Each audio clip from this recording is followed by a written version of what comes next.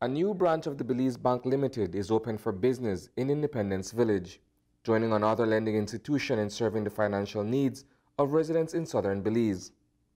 This afternoon at an inauguration ceremony, Chairman Lyndon Guiseppe spoke of the bank further expanding its reach to the lower half of the country, where economic activity in Big Creek and other areas within Stann Creek District is also looking up. Ladies and gentlemen, 14 years ago, in 2007 to be exact, the Belize Bank opened its first branch in the Stann Creek district on the Placencia Peninsula. During that period, we served approximately 3,000 customers and performed in excess of 600,000 transactions. We also collaborated with many local businesses, helping them in the process to grow and to serve their clients in the best possible way. Today, the Belize Bank is building on that strong foundation and that great legacy with the inauguration of our Independence branch. The new branch location, according to Agatha Ruta, head of digital, retail, and business banking, is part of a systematic approach that would bring Belize Bank closer to its customers. Um, I think it's worth mentioning that we are not leaving Placencia. Uh, actually, we have just expanded our ATM network in Placencia and we will be visiting our corporate clients on the regular basis to ensure the smooth operations. Um, this branch here is a part of the Belize Bank strategy to grow the distribution footprint at the locations to bring us closer to our clients.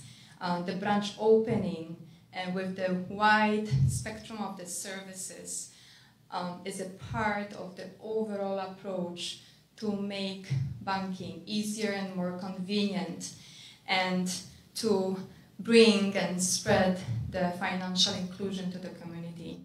The addition of another local office on the other side of the Placencia Lagoon is beneficial to all clients who transact with the Belize Bank in that community. Ladies and gentlemen, our decision to move from Placencia to Independence was not taken lightly and was indeed a very difficult decision. It followed deep consultation and analysis with both customers and staff, but we left those discussions with absolutely no doubt that relocating to the Independence Village was a win-win solution for both customers and for potential and existing clients as well.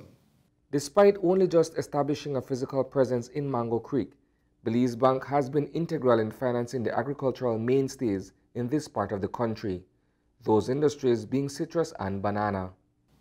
The Belize Bank this afternoon believes that independence has a lot to offer, and we are saying through our investment in this branch, in this head office, that we are here to stay and we want to participate in the growing growth and development of independence. In other words, ladies and gentlemen, we are staking our claim in the independence pie.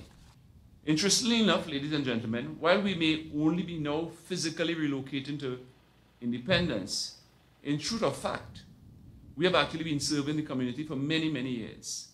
Why do I say this?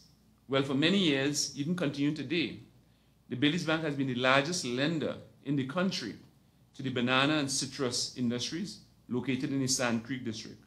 Reporting for News 5, I am Isani Cayetano.